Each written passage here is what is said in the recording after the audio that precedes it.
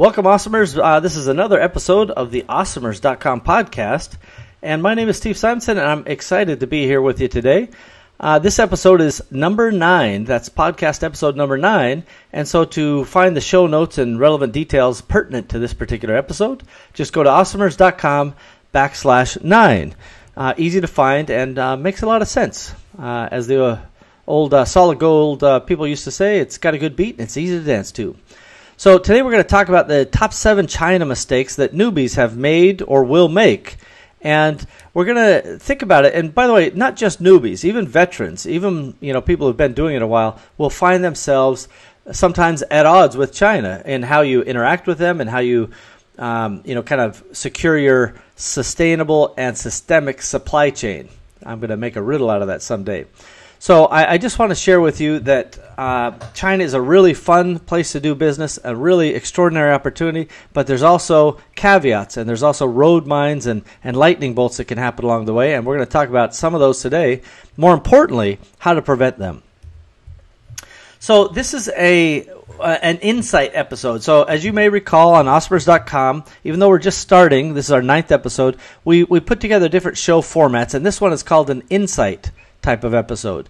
And this is where somebody like myself with a deep experience in a particular subject matter will come and give you uh, their view of the world and extol the virtues of their, you know, um, kind of opinions. And ultimately, the objective is to bring expertise to you that you could not necessarily get uh, either on your own or get it for free. As an example, uh, many times I've consulted for many companies regarding the supply chain and China and logistics and things like that. And it's not uncommon for me to bill out very significant rates uh, to Fortune 500 companies, for example, upwards of $50,000 a day. And then I scale down a little bit uh, smaller for mid-sized companies that, uh, say, do between 100 and 250 million. Uh, they get a little lower rate, especially if they book a lot of days. So the point is, uh, my expertise is something that's valued in the market, but I'm bringing it to you here today for free, as I like to do because I love entrepreneurs, and Awesomers are one of those uh, elite sets of entrepreneurs that I particularly enjoy focusing on. So, this insight episode is my effort to bring some of my expertise to you. I hope you enjoy it. Now, uh, now that I've uh, uh, first uh, talked about my credibility and how much I know about China, I want to reassert uh, a new topic or a new philosophy, which is my axiom number zero, and that is I don't know nothing about nothing. And I, I share this because context is king. Uh, for me, although I'm a, a China expert and I have deep experience there, I go into every topic and every meeting and every situation possible with this premise that I don't necessarily know what's going on and I need to learn about what's going on. And I encourage you to take that approach, even if you've been doing China, uh, uh, doing business in China, that is, for a year, two years, five years even. There's probably something you can pick up in what I'm about to share. And I know I'm a learner at heart, and I pick up things every single day from people with more experience than me and people with less experience than me. There's lots of ways to skin this cat. So I just like to point out that Axiom Zero is I don't know nothing about nothing, and this allows me to come in with humility to any subject, and I encourage you to do the same. Now, in a future episode, by the way, I'll outline my axioms. And an axiom is something that I've said it so often, and it's, it's just become part of my DNA. And anybody who's known me or worked with me will have heard these axioms over and over and over. And instead of sounding like a crazy old man, I, I call them axioms. So I'm kind of marketing my uh, crazy old man nature to repeat myself. And uh, that becomes a, a, feature, not a bug. So that's a, a marketing lesson uh, baked into this China presentation. So again, for context, because you're still getting to know me, uh, for those uh, joining us on the Awesomers podcast, it's fairly new. You don't know my background, but this is my 29th year that I've owned my own business. And I've been trading in and traveling to China for well over 15 years now, probably closer to 16, 17 years. And over that course of time, my companies have sold uh, directly and, and through wholesale channels $250 million to consumers directly and another 500 million to wholesale customers. Um, also, you know, through uh, various sales channels. And the point is, after $750 million worth of turnover, which is, by the way, quite close to a billion dollars at this stage. I, I, haven't, I don't do the math very often, but at some point it'll tick over to a billion. But kind of like McDonald's when they used to say, you know, 100 million served, 500 million served. Now they just say billions and billions are served. I, I don't keep too close track of the numbers. Let's just say we've put some points on the board. The the fundamental takeaway you should have here is that I still don't know nothing about nothing, despite all of that background and experience. I'm still learning. We still make mistakes, even, but we try to share some of these uh, lessons that we've learned to help you prevent some of these mistakes. Now, uh, as a final point of interest, we have engaged uh, on behalf of sellers and e-commerce companies and trading companies and distribution companies and even manufacturing companies to help them with their China logistics. And this is the the Simul Global team in particular. And you know the the team there, which is based in China, will help with negotiating. They'll help with um, sourcing, uh, taking photos, uh, and and other general functions that are necessary to conduct business with China. And along the way, we've been fortunate enough to, to gain some social proof, uh, and and people have been able to find better deals, um, you know, increase cash flow, reduce cost of goods sold, and general efficiencies, despite the scary landscape that is often considered China. Right? It can be very scary if you haven't done a ton of business there. And you know when you've when you've done tens of thousands of containers and hundred, hundreds of millions of dollars of product, at some point you're like, eh, I, I don't know everything, but I know a couple things, and so our lessons are to be shared with those around us. Uh, so we're going to share the top seven newbie mistakes uh, right after the break, but first we're going to take this short break. We'll be right back.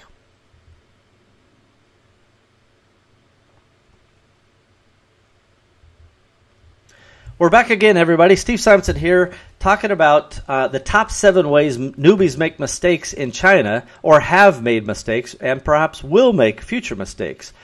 And uh, this is, uh, you know, part of the Awesomers podcast series. Uh, our mission again is to try to help you eliminate some of those skinned knees and some of those, uh, you know, some of the wounds that I've experienced firsthand. Uh, but make no mistake, despite us sharing these lessons, some of which you'll say, ah, that doesn't apply to me, uh, although later you'll probably come back and go, eh, maybe that did apply to me. Uh, but initially, some of these lessons you'll go, okay, I get it. This is this is nice. I, I'm on board. But there's still going to be a learning curve, right? Nobody can can uh, skip the idea of learning and then gaining knowledge. Uh, the I forget the guy's name, but one of the key guys at Amazon's AWS uh, which is their Amazon Web Services business. This is the big, you know, uh, tech division of Amazon that's responsible for so much of the internet's operation. And he said something like, "You can't compress, or there's no compression algorithm for experience." Right? So, as much as we want to share these lessons, I just want to let you know there's still a learning curve. That's to be expected. Uh, and just be patient with it and understand that's part of you know paying your dues. Um, our idea, though, is to make that the learning curve as short and as as uh, flat as it can be versus steep and difficult and long. So that's our mission. All right. So the point number one is a lot of times when people are thinking about sourcing a product from China, their simple mission is simply to pick a product and get it to ship to America because that is a giant deliverable for somebody, especially if you've never, you know, kind of developed your own brand or packaging or, or you've done your own import and so forth. So just getting it from point A to point B is kind of the a, a typical newbie approach, and that's fine. But honestly, there's more to it than that. Without understanding your true desired results from the very beginning, so as early as possible as you can, it's harder to get that desired result in the end. You're not engineering the outcome properly. So you know, what does this mean in real life? This means that you may know the product that you want to do, and you may even know the factory that you want to deal with. But have you, for, you know, have you considered what the import export piece of the puzzle is when it comes to does the factory have an export license? On the import side, do you know all the HTC codes and harmonized tariff codes? That's what HTC means, by the way. Uh, are you uh, prepared, and is your your carrier, your freight forwarder prepared to bring this product in? Do you know how much it's going to cost? These are the types of things that are pretty basic, and you, you'll get to them because you're forced to get to them.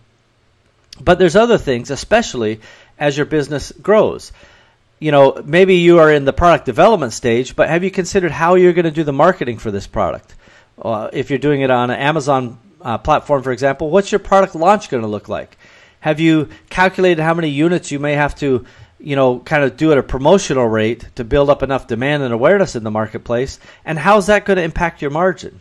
Uh, have you planned inspections before the product ships, which is a critical step? Uh, have you considered, you know, having some samples prototyped and then sent over so you can do some testing before the major production run? Uh, what about the idea that you know somebody in finance needs to wire some money or needs to pay a bill at a certain point of time?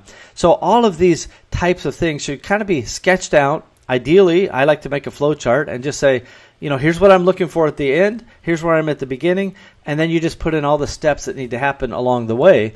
Flowcharts are one of the best ways to kind of force yourself into having a good thought process and to drive towards uh, kind of continuity and consistency in any of your, your systemization. So for me, I love the idea of writing it down and having that flow chart and then just going step by step. And some things can go in parallel, right? There's no reason you can't do certain things at the same time, especially if you can delegate those tasks. But you know, it's it's not an uncommon thing to forget the financial measurement at the end, for example. So you've launched the product, you've made some sales, and it's even time to order new stock but if you don't know how much money you made on that product, and you have another product that you also are selling, how do you know whether you should double down on a winner and kill a loser? Are they both functionally performing the same from a financial standpoint? Just having turnover doesn't mean that you're making money on it. And so uh, all of this should be kind of baked into your equation to say, I'm bringing in a product. Here's the ROI I hope to achieve, return on investment for those keeping score at home and then then figuring out all the steps in between i think that's really really important. The buying process is really about understanding the needs of all parts of your company or all parts of your team that need to be involved. Uh, i want to make sure i don't forget anything uh, particularly about the, the factory. You know so often we, we don't treat factories uh, in, a, in a proper way. You know factories I will say, in fairness, I do think that largely that factories are commodities, which means somebody else who's making whatever your product is, whatever your widget is, somebody else can make that product. So factories themselves are commodities. Relationships, on the other hand, are not commodities. And so, uh, you know, dealing with the factory and reminding them that, hey, you know, I really want this to be high quality is really an important part of the process you know, one of the most important things that, that happens is factories here, you want a low price and they help you engineer that low price. And that is this next problem we're going to talk about right here. So we just talked about this pricing uh, issue. And again, the common situation that I see happening is that a factory will say, uh, you want a low price? And you're like, yeah, I want a low price. And then they will engineer that product quality down to meet your price. Now they don't necessarily tell you that. They just they heard you say you want it for five bucks. They told you seven. You said no, I insist that it needs to be five, and they figured out how to make it for five dollars.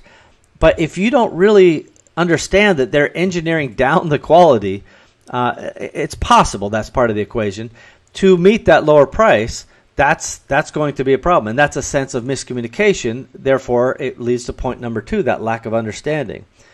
Uh, so we had a we had an issue one time on a product and we luckily sent over 200 prototype units and sent them out to testers. And the testers came back and said hey the hinge is breaking on these things. And and we were like whoa the hinge? Why would the hinge break? And we went back to the factory and this product was probably around 18 or 19 dollars uh, it was a Bluetooth type of keyboard, and they said, "Hey." Um, well, first of all, we told the factory uh, these things are breaking, the hinges are breaking, and we think it's because they're plastic. And they're like, "Yeah, yeah, that's probably the reason. Yeah, plastic hinge, not that strong." And we're like, "Well, listen, we have to have these things strong. They need to be they need to be metal. They have to be rigid, and and you know, this things are the the hinge was supposed to spin 360 degrees. They can't break."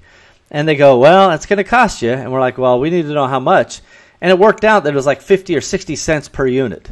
Right? It was less than a dollar a unit, yet it would have led to a 50 or 60 percent return ratio. So this is the point about miscommunication, lack of understanding. If they hear you just beating price into their head without talking about quality enough, you're destined for trouble. And I also want to reiterate that uh, lack of understanding comes from inherently the language barrier, right? No matter where you're from, if you're not a native Chinese speaker and you're using China as your factory, you're going to have an, a natural language barrier despite you know the the other party's uh, ability to carry on business in in your native tongue. And, and this uh, goes in any direction, any language. If you don't have two native speakers, you have a chance of uh, increasing miscommunication, lack of understanding. Uh, the other thing is a lot of times we communicate by email. And if you have ever texted a friend, uh, even a close friend, or emailed them, and they, they came back at you like, why did you send me that angry text? Or, you know, they took the, the message the entirely wrong way. It's because these email messages, when we type them and when we read them ourselves, our own messages, we put our own uh, little accents on the words and we say them in a nice friendly way. You know, we're typing, hey, you know, how you doing? I had a question about this or that. But when the other person reads it, they're like, hey, how you doing? I got a question, and it's about this, and it's about that, right? They can put their own uh, tones to it, and and that's the point is you can't read tone in email or text. So be careful that you're wording very carefully, and that you're using you know appropriate support language like this is really important or I'm asking because I don't know. Always, in my opinion, you always want to leave yourself a little opening to be wrong. Uh, I often will write at the end of my messages, I could be wrong, but here's the way I see it. How do you see it? And ask for the other party's opinion. So, uh, uh, you know, imagine a factory who doesn't speak your native language and they're getting a quickly typed email message, perhaps in frustration from you. It, for you, it's crystal clear, but often they don't have any idea what you're talking about. And my opinion is, as the buyer, it's your responsibility to communicate clearly and confirm their understanding all assumptions you made about communication and about their understanding are your fault. And the uh, particularly with China, I want you to be very afraid of the word yes and the phrase yes we can. In Chinese, they say kui, kui, right? So you'll be at the factory, you're talking on the phone, Skype, whatever it is, and you'll say, "Can you do this?" And they'll look around the room and they'll talk amongst themselves. Yeah, yeah, kui, kui. Yeah, yes, we can. Yes, we can. And that sounds like great news to you. But I want to just tell you that, that that phrase and the word yes in general can have a range of meaning anywhere from certainly we totally understand what you want and we can execute with excellence. That's on one range of the spectrum. All the way down to no way on earth we can do that and uh, how dare you ask it. But they answered yes to both of those, right? And so I want you to be sure that you take the responsibility to ask for follow ups. The word yes does not mean yes necessarily uh, in Asia at large, but in particular in China. Just because you heard the word yes doesn't mean they meant yes. And this is a big fat warning for you. Please don't mistake this. Yes does not mean yes in China.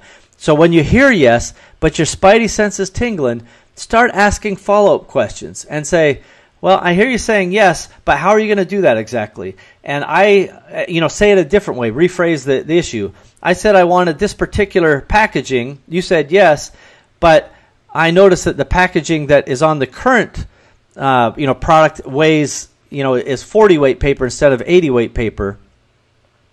I want to be sure that we're agreeing to 80 weight paper, right? So this yes is really about uh, you diving in and making sure that they understand and don't make any assumptions that they do understand. Uh, the other thing I want to share with you, particularly you know, English speakers, but this applies to any language. Most often, from around the world, we're going to speak English to the Chinese factories. Now, China's really smart. They're getting to, they're developing Spanish and German and Russian and all the other languages. But this applies to any language when you're speaking to China. In your native tongue, just because they can speak with some degree of fluency your own native tongue, don't use slang. Uh, they don't understand it uh, and and by the way, I have world class people on my team, and even even still, they don't understand all the slang unless you have lived in a culture for an extended period of time. You shouldn't expect them to understand slang. When you do get them to agree to something, ask them repeat to repeat back to you what you said in their own words, and that's another way to kind of press press that button. Do they really understand? Remember that this lack of understanding leads to massive confusion, problems, and back end issues when it comes to everything from product quality to timing to you name it.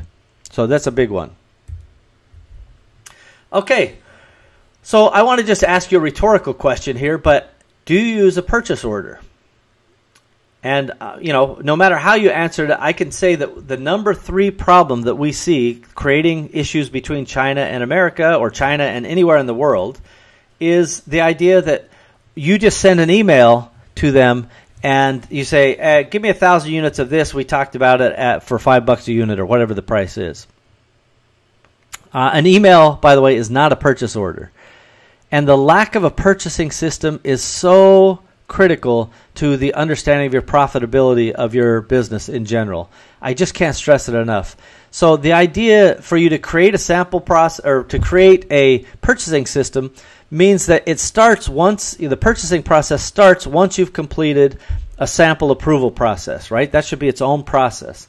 So you start, you know, you've got the sample process completed and you have an approved sample and you're ready to make an order. An email, again, not an order. Uh, even though they'll accept that, for your benefit, you need to go deeper. And I'll give you just kind of the rough flow of how that looks. First, you want to create a purchase order. Uh, depending on how many people in your company, if you have a purchasing department, there should be somebody who approves that purchase order. Now, if you're the sole operator and you're the uh, person making the PO and approving the PO, fine, but just remember that that's a process that needs to be considered for the future.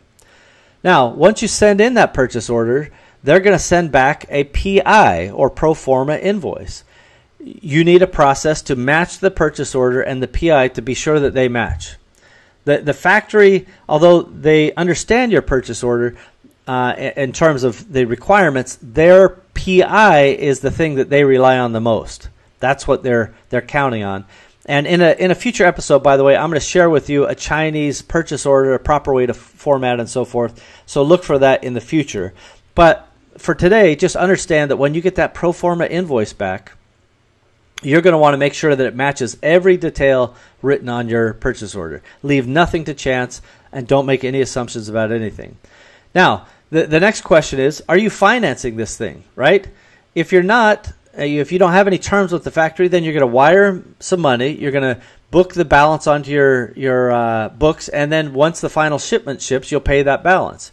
If you are financing and you do have terms, then you would just book the payable and you would just you know set it for whatever future date you've agreed to based on those terms, whether the 30 days, 60 day, 90 days. Now, if you're listening to this and you say, "Well, China doesn't give terms," then let me just explain that yeah, China does give terms. And again, in a future episode, we'll dive into that uh, detail and and how we achieve getting financing and how really any of you long term can get financing from China, as long as your order sizes are sufficient and frequent enough to justify the paperwork. So, can you get financing in China? Yes, you can. Uh, is it something that you're going to use for a 200 unit order? No, it's not because the paperwork just isn't worth it. Uh, another one of my axioms, I forget the number, but is the juice worth the squeeze? And if the transaction volume is too small or individual transaction too small, the paperwork's just not worth it. So that's when cash works. And of course, China will tell you they only take cash. But I will tell you, as an expert, they do financing. Trust me uh, tens of millions of financing uh, without question. So once you once you have the, the that part of the process, then you need to figure out how to update your inventory. You need to uh, figure out how you're going to do receiving for that purchase order, and you need to figure out a variance process when that purchase order comes in and it's not exactly what you thought it would be. There's some variation to it, right? That's the variance process part. Maybe it's how many units you ordered versus how many you received. Maybe it's the size of the units or some other uh, critical thing. The key is when you receive a PO, allow for variances, and then you update your available inventory, uh, either at your home, uh, you know, warehouse. Maybe you have your own warehouse. Maybe use a third-party warehouse for inventory receiving and staging, or maybe you're going directly into Amazon. Regardless, all of these policies and procedures should be put in place to have good continuity and good financial controls. So again, I, I know that I've already said this twice, but I'm just going to repeat it one more time. Uh, a purchase order process does not include emailing your supplier and going, yes, I'll take 2,000 units times six bucks a unit, like your email to me said. That's not a good purchase order. And I'll tell you why uh, right now. So, why is it not enough simply to send a purchase order? It's not enough because there's no detail in a purchase order besides the number of items you want times the price, which equals a total amount. Right? That's that's all you're essentially sending via email most often. And what I want to tell you is specifications are critical. They are absolutely critical. Every detail that you can come up with about your product should be a written specification, which you can include on the purchase order. Now, having a purchase order specification is a really critical thing to me because we include that with every purchase order uh, so that it's part of our contract. So think about types of specifications you may be wondering. Think about these types of things. What kind of material is used? Uh, is it a, a, cloth? What's what type of cloth is it? Is it a uh, you know a PU, which is um, uh, the fake leather kind of stuff, polyurethane? Uh, is the base, I believe, on that. Um, is it made of metal? And you know, if it's aluminum, what what kind of alloy is? It? What's the number of the alloy? You know, there are specifications that are really detailed for every material: weights, um, thicknesses, gauges, density, stitches per inch, uh, defining the type of zipper, buckles. Uh, really, any kind of attachment is a very, very important thing. Otherwise, you will see what has been called for many, many years quality fade.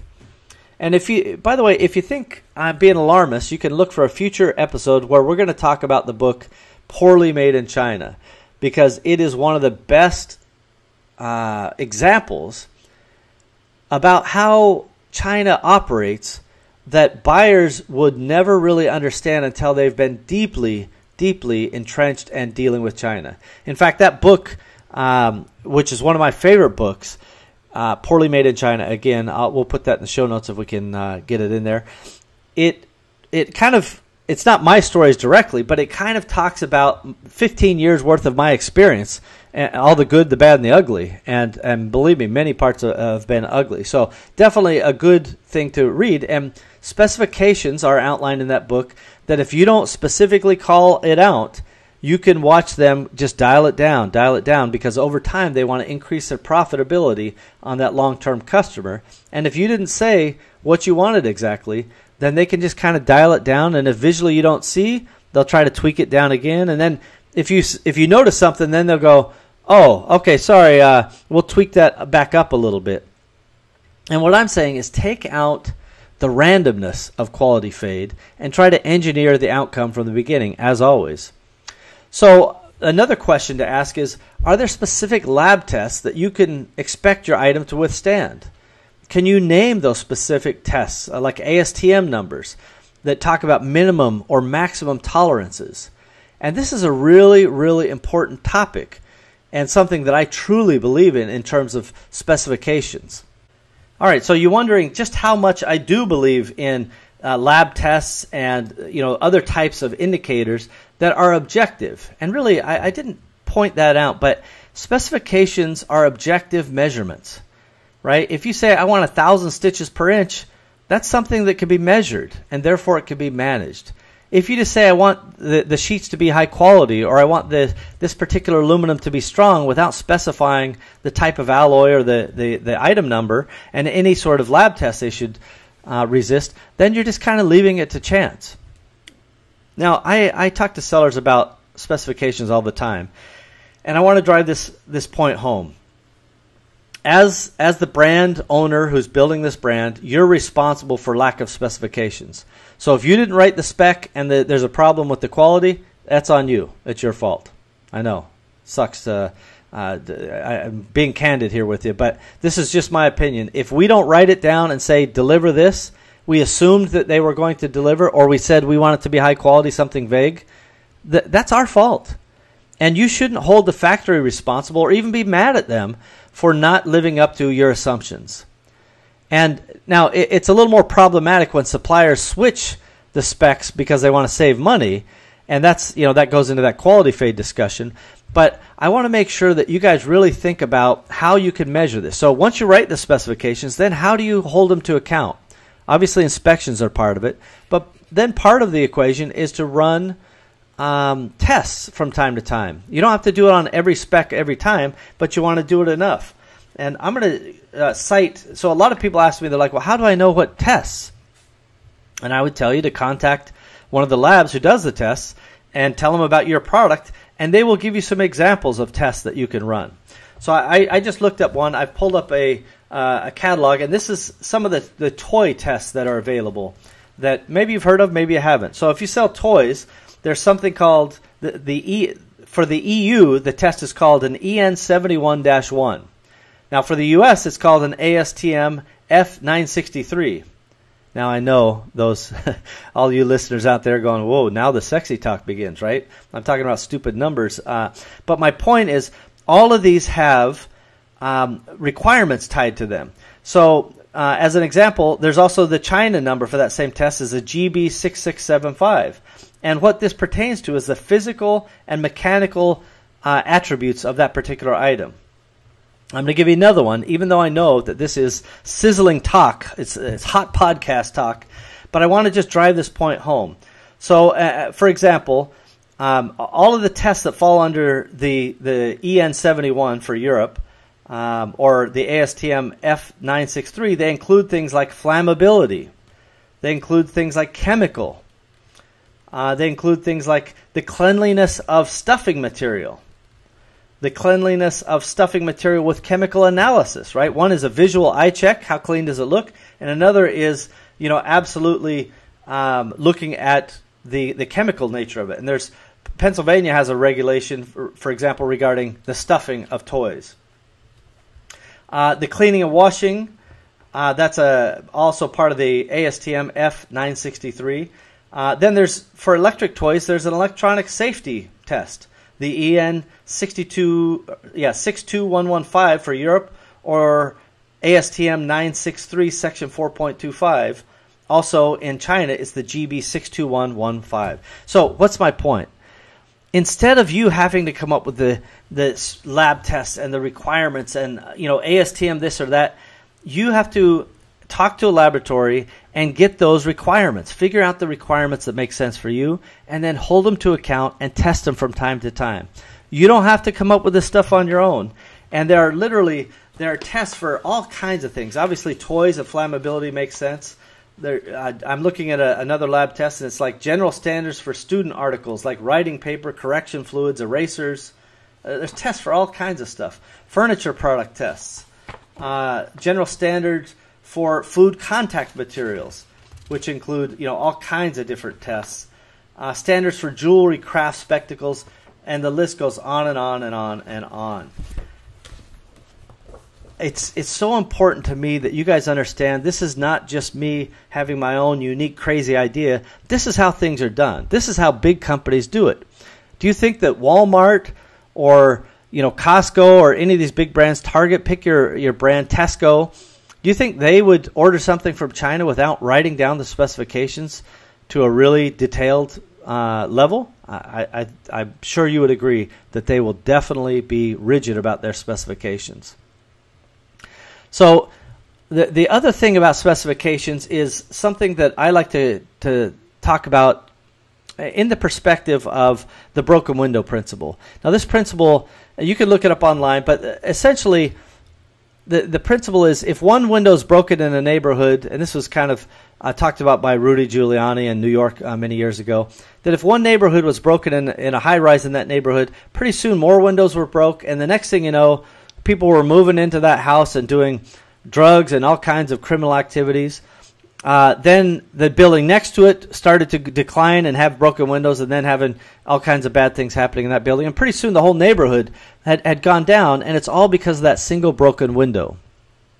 And the principle with the Chinese supplier, or how it applies, is that if you are on them, you're saying, here are my specifications, here's my lab test, here's my inspector, the suppliers are far less likely to change the materials or try to reduce the thickness or try to do other things uh, because they know the sheriff's in town. They're checking on them. They they will only take the risks of trying to change those specifications or invoke quality fade where they think they can get away with it. And the the sharper that you are and the more you're on it, you have a better chance of surviving those uh, quality faded issues. Now, does that mean they won't try it long term? No, it doesn't. That's why physical inspections and lab testing to verify are still requirements you know, far, far into the future, as far as you can imagine. So uh, that's a bit of a rant on specifications. We're going to take a quick sponsor break, and we're going to be right back after this.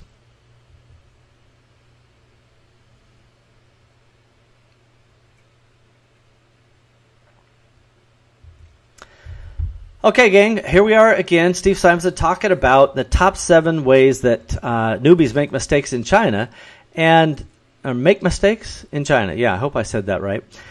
And uh, we're up to number five, which is lack of oversight.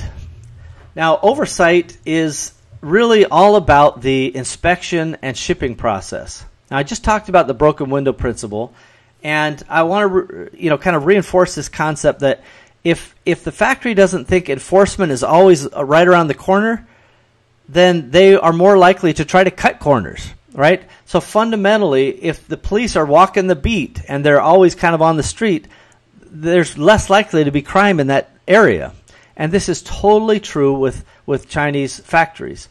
The the more rigid you are about your inspection process, your laboratory enforcement process, uh, the less likely they are to try something, right? Now, I do have a general policy that is called trust but verify, right? This is not unique to me, but this is a, a core principle as I do business with China. I want to trust them and I want to have a good relationship with them.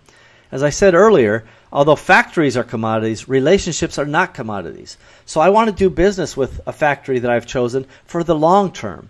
And I want to do it in a transparent and friendly, uh, yet fair and firm way right? And so I'm going to trust them, but I'm going to verify that trust.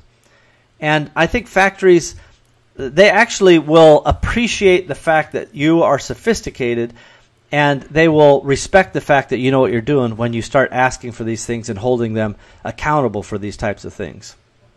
So I'm going to give you a quick quick example. Uh, you know, 12 years ago or more now, maybe uh, when we first started, we didn't do quality inspections. Uh, we did the same thing everybody else does. Hey, we need a container of this. Will you send it to us? They're like, yeah, send us the money. We send them the money. They send us a container. No inspection. And then after we got a couple shipments, we're like, these colors don't match at all. And so now we can't even mix the batches. Now we have to start entering inventory batch numbers so that we make sure we don't ship these things to the same customer and so on and so forth. And after we investigated, we found that the factory, the factory had actually outsourced the containers from time to time, which is what caused the problem. So they were too busy, um, and we would send in orders, and they'd go, ah, you know what? We'll just we'll send it to to Fred down the road. Uh, Fred being a very traditional Chinese name, and uh, so Fred delivers the product as well as he could, but it didn't match the other product because a completely different factory made it. Now, they didn't ask me if that was okay. They didn't clear it ahead of time. Uh, and nothing fundamentally changed about the execution of the purchase order. Right? We place the order, they ship the order. The, the difference, though, is when they outsourced it to somebody down the street, it created quality problems that we later identified as this outsourcing, unexpected outsourcing.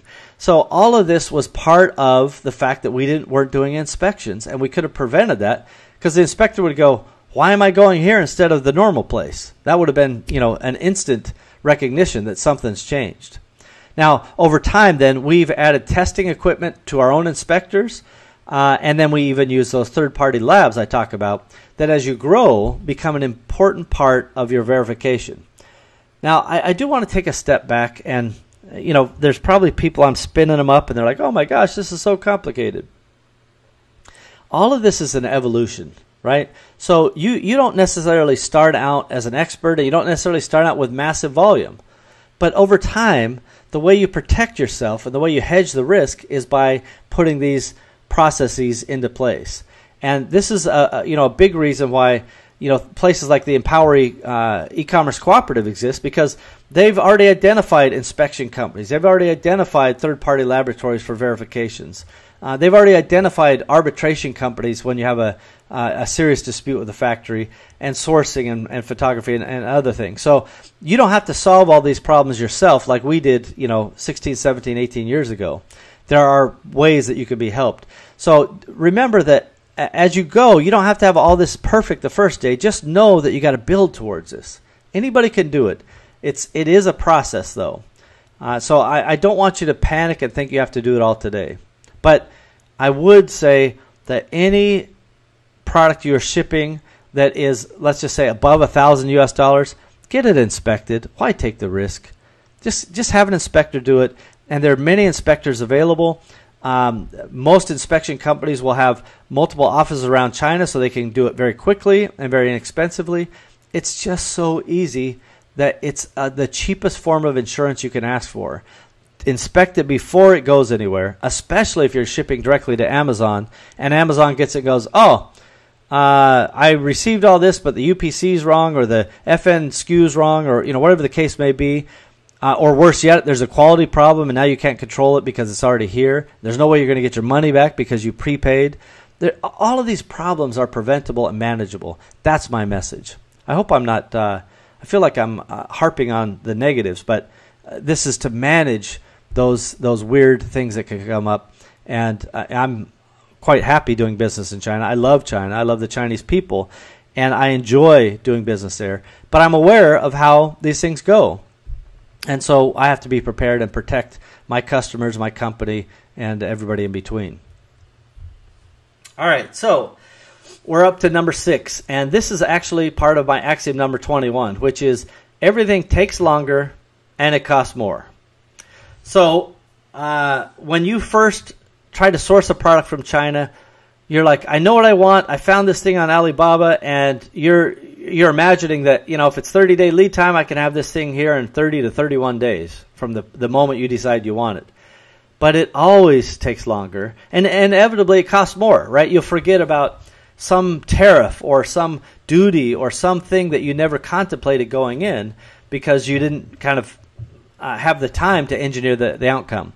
So the the reason I mention this is because if you always kind of know in the back of your mind that to expect surprises. When things take longer, that's an unwelcome surprise. When things cost more, that's a bad surprise, right? Uh, we prefer good surprises, right? Hey, this was faster and cheaper than you thought, but it's not likely to happen. It's certainly anytime you develop a product, it, it just always seems to take longer and cost more. When you're onboarding a brand new factory, the first run, for example, of a product, it just takes longer and it costs more. That's okay. It's just part of the process. If you understand that going in, you're going to be better prepared. And then over time, you get better incrementally. Things get better and better. And the more you do business with that factory and the more things become systemic, the easier be the easier it is. Where I, I was talking with uh, parts of my team uh, in the last couple days, and you know, in the last week they probably cleared 25 or 30 containers uh, on their way to clearing about 140 containers this month. And it's just part of the process. Uh, nobody's breaking a sweat. You know, uh, it's not like they're uh, you know working hard. That's just that's what we do. We work, but it's nothing's breaking, right? There, there's no chaos, and really fundamentally, uh, a good buddy of mine, Mike Boshart, I'll probably have him on in the future. He says, you know, part of his mission in product development or merchandising is to bring order from chaos, right? Bring order from chaos. And if you follow, you know, and understand these seven steps that we're talking about here, you will bring order from chaos because you'll be prepared. And again, point number six is all about preparing mentally for this kind of inevitable surprises you're going to have. And I'll give you a, a quick uh, horror story from a, a buddy of mine. He's a brand new seller. He sees the opportunity to sell online. He's really excited by it, and that's great. Uh, he he vets out a, a, few factories, picks one, not the cheapest one, but one that looks uh, pretty good to him, and he's really excited about it. And then he gets the product, it ships all the way to America, and it turns out he can't get that product into America because it's got like a two or three hundred percent import duty on it. And it's because it's a certain size that the duty applies to. If it was slightly smaller, and I'm talking about like an inch or two smaller, uh, it's possible that it would have gotten through without the, the 200% duty. But because it, it happened to incur this duty, now he can't even bring it into the U.S. and, and make any money, right? You can't double or triple your costs and still make money. Well, again, there's there's different margin structures, but in this case, let's just assume that's correct, and I, I, it absolutely is correct. So he decides, oh, then I'm going to ship it to another country, in this case, Canada. So he ships it to Canada, kind of sorts through and gets through all that mess, and he learned a ton. And if I ask him, does everything takes long take longer and cost more? He would give an unequivocal absolutely it does. Uh, and so I, I, just don't want you guys to think that this is somehow unique to you or that maybe you're so special that it's not going to apply to you. Even if you had the first order, the second order, the third order go perfect with no delays and no surprise costs, it's coming. It's coming, right? And again, I will re recommend that book. Go read the book Poorly Made in China. And you can see Paul Midler's new book called What's, uh, What's Wrong with China and that's the great Paul Midler. I hope to have him on an Awesomers podcast in the very near future to talk about his books. And but in in poorly made in China, I think is a fundamental piece that anybody who's importing product or buying in China needs to read because it tells you the way it is, and it really gives you a sense of what's happening over there. So I know I'm ranting, so I'm going to move on.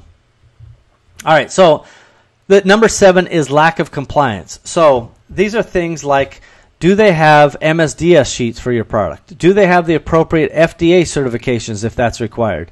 Are they an FDA approved factory? On, you know, in addition to whatever uh, documents they require. Do you have any required testing? Um, for example, batteries or chemical composition. Do you have uh, licenses for things like Bluetooth? Uh, if it's a patented product, are you maintaining compliance with patents?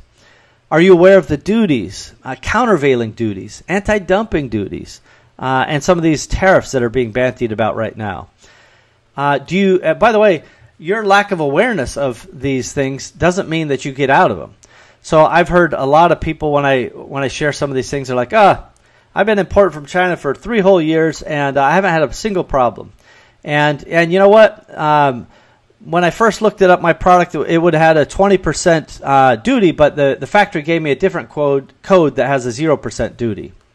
Now that always makes my skin crawl because when when your freight forwarder says this is this is the duty your product falls under, you should take you should pay close attention to that. Especially if your factory comes back and goes, no, no, just use this just use this HTC code because uh, now you don't have to uh, pay a duty, right? And and you're like, well, obviously, I don't want to pay an extra 20%. I'll just do that. But the reality is, it's up to customs to decide which code is most applicable to you. And by the way, you can even send in your product and have them classify it for you so that you have it in writing from them. And then if they choose the 0%, later, if they change their mind, it's not your problem. But I want to be sure everybody knows this. Customs can retroactively enforce collection of duties, countervailing duties, any of the things. Uh, and I don't believe there's a limit. Well, I know guys, you know, they're talking about six, seven, eight, nine years that they're potentially on the hook for enforcement. And the way the enforcement works is like this uh, you imported for three or four years, and you put down this particular HTC code. And then customs, for whatever reason, decided to screen or uh, do an intensive examination on one of your products. And then they determined, you know what? The HTC code you put on here is wrong. Uh, and it actually is supposed to have this 20% duty. Then what they say is anything you've imported that has this HTC in the past, we're going to retroactively, and this is a potential, it's not a sure thing, but they have the potential to retroactively enforce on, on those prior FT, uh, HTC codes, especially if they came from the same factory, right? Because customs looks and go, well, you bought this product from this factory and you use this HTC code, and we just did an intensive examination to determine that it was wrong and you owe us 20%, we're going to do that retroactively to you. So for all the guys who say, "Oh, my factory's got a little secret or my, you know, I can squeeze this by," just trust me you know, customs is going to get paid. Do the right thing. Make sure that compliance is absolutely 100% done. Don't, do not try to uh, be slick about it. And China has lots of slick ways, and they're now kind of being beaten back. But some of the slick ways is if you have an $8,000 order, some of the factories go, ah, we'll just ship it in you know, four orders for $1,997 so that we can ship them by air and come under the the duty and customs thresholds. Well, now customs is enforcing lower limits, uh, as low as $650. And in some cases, at some particular ports of call, particularly around Amazon areas, they're doing full enforcement. So, my point is no matter what a Chinese resource tells you about how they can kind of be sneaky and get around these things, it's not worth the risk. It's just not worth the risk. Every, you know, all the guys who are, are properly doing business are on the same equal footing. If there's a 20% duty, just pay the duty and move on with your life. Uh, it's definitely not worth trying to to uh, trick the government. It just doesn't work. Uh, again, I'm not saying this to freak you out. I'm just sharing experience. And I have a friend of mine. He only imported a product for about a year and a half. They misidentified it. They mischaracterized it. And in my opinion, the factory that was helping them did it on purpose because it was instead of eight percent, it was zero percent uh, duty. And so they took the zero percent and they were fat and happy and, and they went on for whatever a year and a half. And then they had a, a container pulled in for examination and they got retroactively applied that 8% for that year and a half, which came up to $170,000. And that was without the criminal penalties that could be attached to it if they think you're doing it on purpose. So, again, please pay full attention to this. Just because something worked in the past or because something squeezed through doesn't mean you're in the clear. And be extra careful of the requirements of the importer of record, the IOR. If you're the importer of record, you are legally responsible for what comes in. If your factory is giving you a DDP price, that means delivered and duty paid, then maybe they're the importer of record and they can do what they want and it, your price is kind of baked into, you know, whatever they tell you your DDP price is. But if you're paying an FOB price, which means freight on board, uh, that's you know when it when it gets freight on board to the container company. Let's say at a port of call like Shanghai, an FOB price means everything after that FOB point is your responsibility. So I, am not going to get too much into the import export details today, but lack of compliance is definitely my number seven. And it's not a lucky number seven, it's a scary number seven.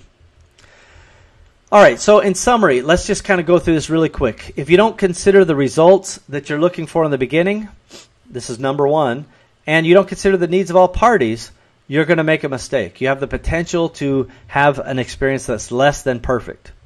Number two, ineffective communication. Beware of the word yes. It doesn't always mean yes. Could mean hell no. Uh, the having no purchasing system that is sufficient to track not just the financial performance but uh, variations and uh, to you know uh, manage your, your product, that's a problem. Number four, lack of specifications. Either poorly defined specifications or no specifications at all. Totally unacceptable. Number five, inadequate supply chain inspection and enforcement. If you're going to buy something, you better inspect it. If it's uh, enough volume, you better attach lab tests and other requirements and then measure against those requirements. Now, the factory should do those kind of on an ongoing basis to make sure they run the test to, to ensure quality, but you should do third party independent audits of that from time to time. And by the way, you should pay for it if those pass. And if they don't, they should pay for it and the container may be rejected. In many of our terms, if they miss a specification, we can reject the entire container, even after it's shipped, by the way, and not pay them for it. Uh, and then number six is underestimating the time and the resources required, especially money. Uh, remember, it always takes longer and costs more. And number seven is compliance management is either lacking or entirely forgotten. And I don't want you to forget about compliance, particularly with the law and customs and things like that. These are really, really important, and they're they're hard lessons learned along the way for many of us, myself included. We've had many horror stories that I haven't had time to go into, but I really do hope that this gives you kind of some guiding principles on how you can manage your supply chain. Now, this has been uh, episode number nine of the awesomers.com uh, uh, podcast. And I hope that you found this insightful as the uh, title of this episode format, uh, you know, really is meant to inspire insights to be delivered from me to you.